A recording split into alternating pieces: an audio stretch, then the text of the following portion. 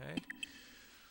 Next thing we're going to do is we can keep this at um, the kind of gate the gate mode, keep it at the zero, zero mode, or we can select all four of these and we can change it to the secondary mode. But before we do that, let's go into all the different let's go into that redrum and over here we will choose this to be the sample or actually not yet this we're going to choose to be the pattern select and this knob over here will be the sample length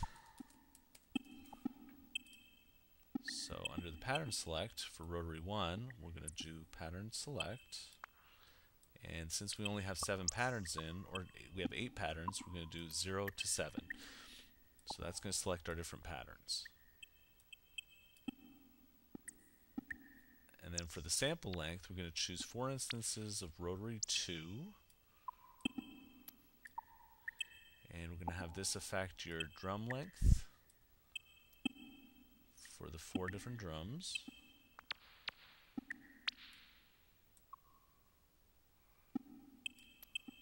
And that's going to be probably 0 to, let's do 51, that's fine.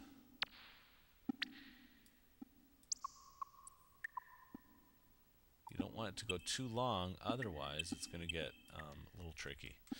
So now you just have to change these lengths, but before we do that, let's bring the sample length down a little.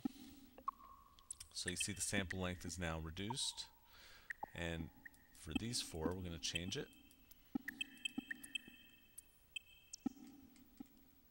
Okay, so now this will control our sample length. This will be the pattern select. The reverb on and off. And this, we will do the LFO rate. And to change the LFO rate, what we have to do is we have to select the Thor. We're going to have to do this to all four Thors. We're going to have to take rotary 3, to go into LFO 2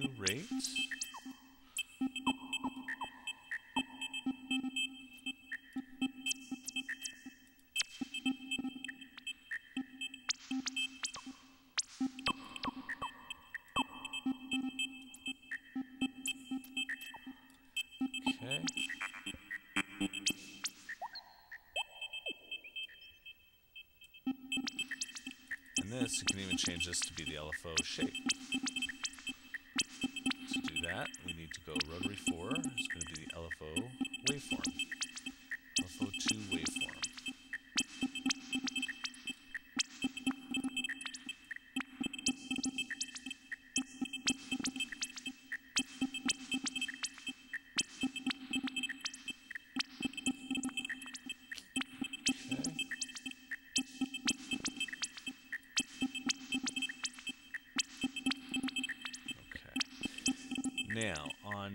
the mixer, let's go up here. So we'll take mixer 1, and what we're going to do for button 1, we're going to have this be the delay.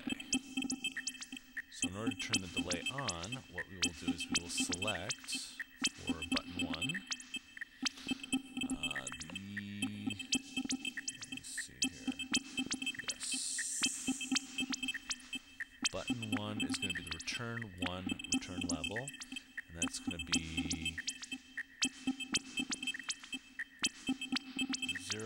to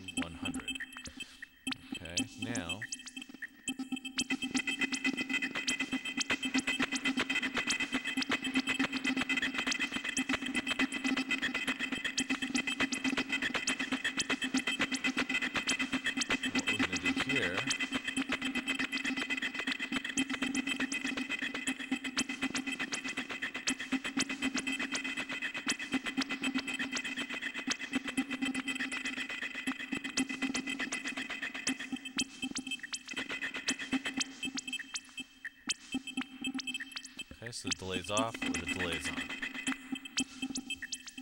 Same thing with the screams. Since we have the screams on right now, what we will do is we will turn them off by clicking the damage off on both of them.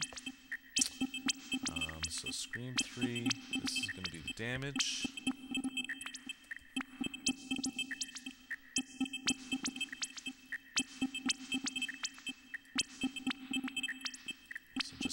Screams, and then for button 2, we'll just turn the damage on and off. So that'll be on, that'll be off.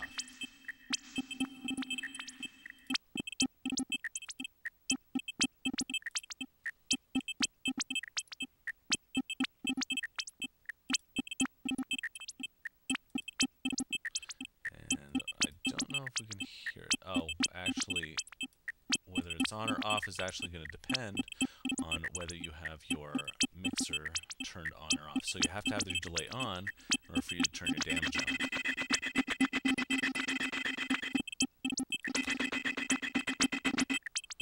So to get around that, what I will do is take the delays, and instead of putting the delay on here, I will take the mixer, I will select no target for that, and I will actually manually use the dry wet delay knobs. So on delays 5, let's see, 5 and 6, okay. I'm going to select button 1. It's going to be dry wet balance.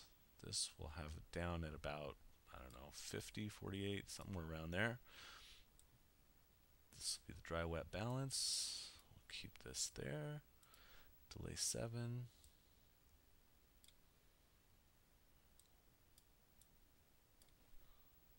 And delay 8.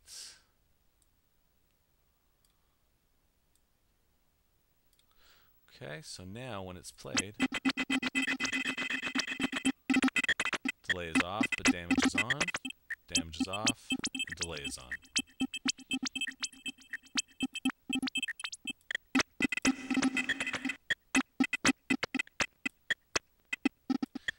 Is how you build a nice little glitch box.